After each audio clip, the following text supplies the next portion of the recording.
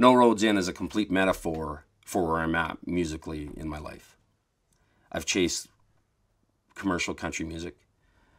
I've had some top 80 songs in there. The band and myself were middle aged guys that are we going to compete with the 25 year olds and singing about tailgates and good times Friday?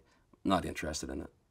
And right now, we're going to go down this other direction where essentially nobody has gone before and that it's going to be a massive challenge and and try to speak to people about what this land is about and what life is about.